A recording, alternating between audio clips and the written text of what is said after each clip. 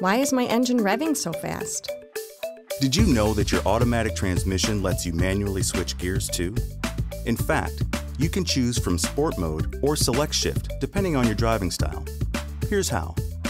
To use Sport Mode, move your gear shift to the S position. It gives you extra braking on various grades of road and lets you use lower gears if you're on a hilly or mountainous drive. Keep in mind, Sport Mode shifts at higher engine speeds than Drive Mode, so your engine may run faster than usual but that doesn't mean you've lost any power.